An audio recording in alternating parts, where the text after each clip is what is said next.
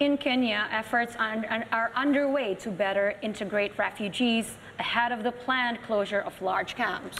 That's one project backed by the International Rescue Committees provides refugees with microloans to start small businesses, as VOA's Juma Majanga reports from Nairobi. It's midday in Nairobi, Kenya, a busy time for Enoch Gatangi, who attends to customers at his grocery shop in the Kayole neighborhoods. The Congolese refugee started his business with a loan from Rangers Family Group, an urban savings and loan association to which he belongs. Niko na customer wengi sana wa Kenya. I have so many customers, both Kenyans and Congolese, but most of my customers are Kenyans. The Tangis Rangers Family Group is one of 20 such groups that the International Rescue Committee humanitarian aid organization supports in different poor neighborhoods within Nairobi.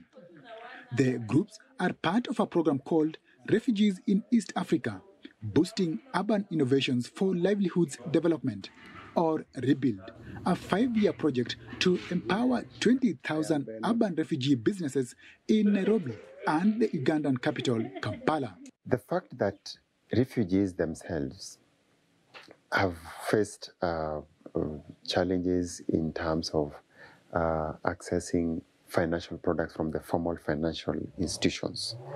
The project had to divine innovative ways on how they can get access to finance services uh, and also boost their economic uh, livelihood, uh, you know, uh, initiative. Under the program, refugees and locals form groups of 15 to 30 members. The members then contribute shares, which are pooled in a mobile money app account that members can borrow from to run businesses. Members say the project has improved their economic well being. Before, we could not access funds to invest. But since we came together and pooled our resources, if a member wants to borrow 10,000 Kenyan shillings, they'll get it. If another wants 5,000, they'll get it. So our lives have improved since we came together as a group.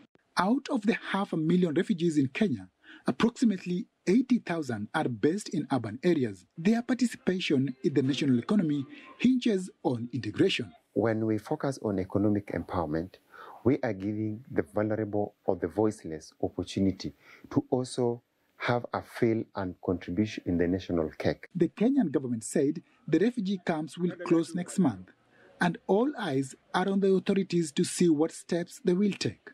Integrated refugees like Gatangi hope that if the camps must close, those who reside in them will be ready and able to live in the Kenyan communities.